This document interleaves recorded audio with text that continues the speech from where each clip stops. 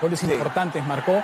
Y, y para mí hay una figura silenciosa o, o con, con poca cámara en, en este momento de la celebración que es Wilmer Aguirre. ¿no?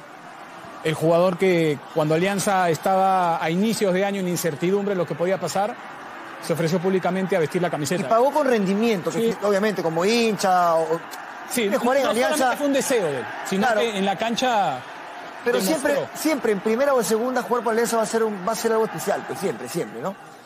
Pero el Zorrito Aguirre sobre todo demostró que está vigente, que ha influido, que ha hecho goles y que ha aparecido en un partido como el anterior, donde Alianza termina siendo el gol que le da la gran ventaja a Alianza, que a la sería el título.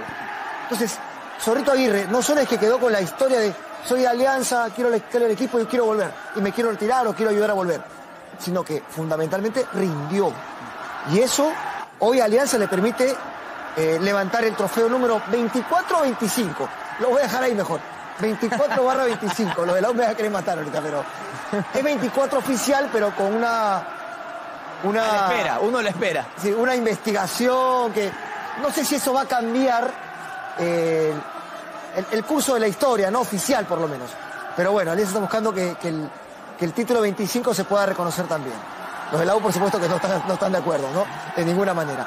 Pero volviendo a la, a la actualidad, Sí, te decía. Bien- bien resaltado el mira, Zorrito Aguirre, Sí, ejemplo. mira lo de Miguel, ¿no? lo de Miguel, lo de Campos. Y, y- y- y para mí lo decía hace un rato también, lo de Bayón ha sido eh, enorme este año. Miguel saca Ya cabeceado el año nubes, ¿eh? pasado, ya el año pasado, para mí, si pocos jugadores se salvaron de la pésima campaña futbolística de Alianza, Sí. creo que Bayón era el jugador, el mejor jugador de ese mal año de Alianza, para mí fue Bayón.